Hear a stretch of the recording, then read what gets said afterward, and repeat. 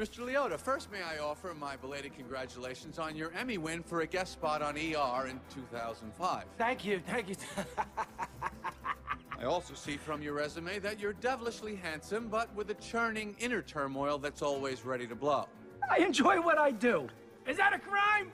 Not yet it isn't, but is this what it's come to for you, Mr. Liotta? Exploiting tiny, helpless bees so you don't have to rehearse your part and learn your lines, sir? Watch it, Benson. I could blow right now. This isn't a good fella. This is a bad fella.